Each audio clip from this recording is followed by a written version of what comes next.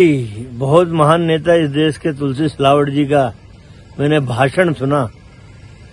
ज्योतिरादित्य सिंधिया को मुख्यमंत्री बनाने की जो इन चक्षुओं की तमन्ना थी और ज्योतिरादित्य सिंधिया जो गए हैं बीजेपी में कि मैं मुख्यमंत्री बन जाऊँगा, वो भावनाएँ इनके भाषण में निकल के आ गई।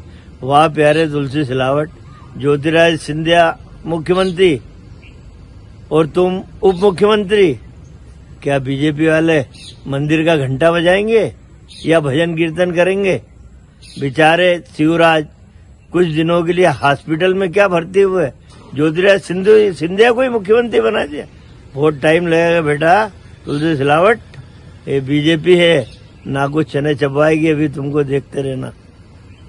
इसी पंद्रह दिन के अंदर आपका बेटा मुख्यमंत्री ज्योतिराय सिंधिया जी इसका भूमि पूजन कर दिया ठीक है ना?